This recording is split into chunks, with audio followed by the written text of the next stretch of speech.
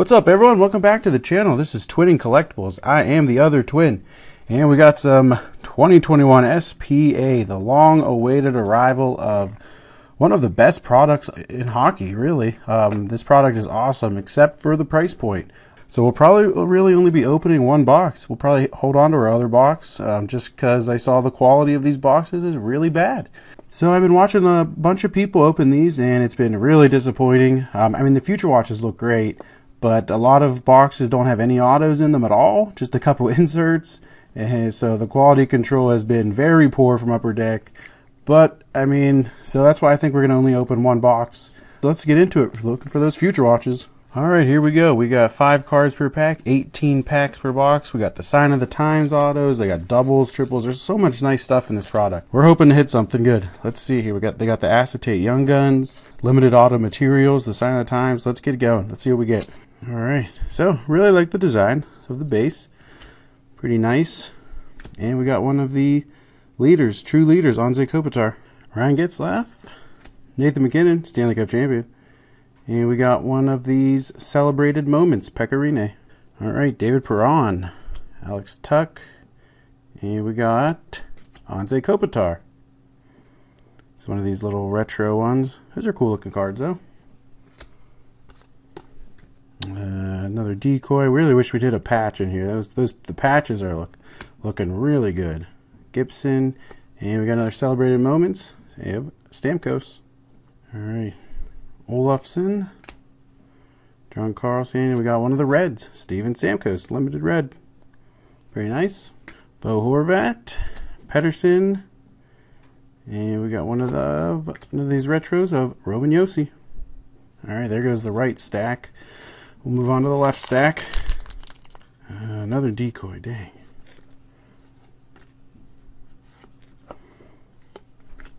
Martin Jones.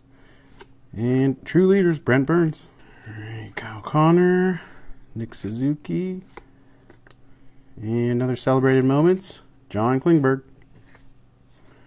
So not too much so far. It's making me a little nervous. Here we go. Uh, Svechnikov, Pavelski, Crosby, nice. And we got another one of those uh, retros of Brady Tkachuk. Another decoy in here. And looks like another one of those celebrated moments. Uh, Pavelski. Come on, give me something in here. Strome, Hedman, Zuccarello, Roman Josi, and a limited red, Kucherov. They're nice cards. They're very clean looking cards.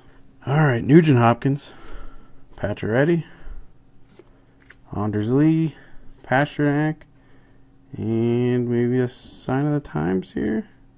Nope, one of those, another one of those retros, Pierre Luc Dubois. All right, down to my last one, two, three, four, five, six packs. Uh, we haven't even hit a Spectrum FX yet. Uh, we've not hit any autos. Uh, we've only hit the really low end inserts, so pretty nervous here. All right, let's go. Yep, another decoy. Jones. Darlene, decoy. Oh, there's a Spectrum FX of Evgeny Malkin. There's the code you scratch off uh, the part of the bounty. Evgeny Malkin, a big question mark with his contract right now in the Penguins. Uh, looks like we got another one of those Spectrum FXs. Maybe it's a Future Watch. Yep, Future Watch level 2. It is a Ranger Vitaly Kravtsov. Spectrum FX Future Watch. Alright, I'm getting getting a little nervous here. I haven't had any autos yet. Haven't had any Future Watch autos yet. This is a oh, there it is. Future Watch, uh, non-auto. Looks like it's uh, the Blues guy. Yep, Joel Hofer. And another big old decoy in there. Um, True leaders, Bergeron, which I hear he's coming back for one more year with the Bruins. Two more packs, people. This has been a very disappointing product to open uh, so far. But I mean, we got a Future Watch Spectrum, a Future Watch non auto, but no autographs so far. We're supposed to be hitting at least two. So, unless these both have an auto in them, Uh, I suggest this is going to be a bad. I think this is going to be a bad box. Brayden Schenn. Nope. Limited red. Aho. So we got one pack left. This has been super depressing. If this isn't a Future Watch auto, then we have to go through the trouble of contacting Upper Deck and see what they give us. This has been terrible. Oh, alright, it's a Future Watch. Heiskanen. It's not even an auto. Uh, Mikhail Maltsev out of 999. So, I mean, thank goodness I got this stack of base cards and a bunch of inserts. Zero autos. This is so dumb. Like, I mean, now I have to contact Upper Deck and see what they give me, but this has been terrible. Like, I don't even care. I don't even care if that just happened. Like, what is Upper Deck doing? Like, this is all I got. Just a bunch of inserts that are worth pennies. And two fu- two non-Future Watch autos that are also not really worth anything. I mean, what what was the best card of the break? The Malkin, Spectrum FX, and the Kravtsov? Like maybe, I guess. But like, come on, Upper Deck, this is just ridiculous. Why are people spending four or five hundred dollars for this product? This is insane. I'm gonna contact them, see what we get back from them. Let us know in the comments what you got in your boxes, but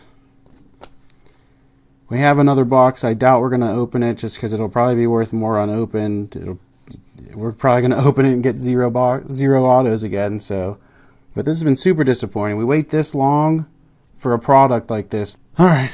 Thanks for watching, everyone. Little rant there, but I think it was well deserved rant for Upper Deck. Like, step up your game, Upper Deck. What are you doing? Don't release a product if you're going to release something like this. I'd rather have waited another couple months and let instead of getting these. Don't buy this product. Save your money. Thanks for watching, everyone. Comment down below what you guys hit. Uh, it's very frustrating. It's very frustrating to wait that long for such a fun product and to get nothing in it. Check out our top 10 hockey pools of the month series. Those are really fun to do. If you if you actually did end up hitting something in your SPA box, submit it in the link in the description. Uh, maybe you'll get into the top 10. I think they're really fun videos to make. Shout out some people in the community. Hit that sub button. Just hit a thousand subs. We're on our way to two. And follow us on Instagram and Twitter and Facebook. And go Pens.